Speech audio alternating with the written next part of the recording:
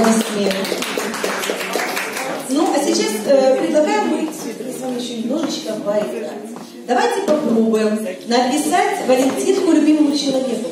Мы сделаем это не в обычной форме. Итак, задание. Все желающие пишут стихотворение, э, стихотворное поздравление.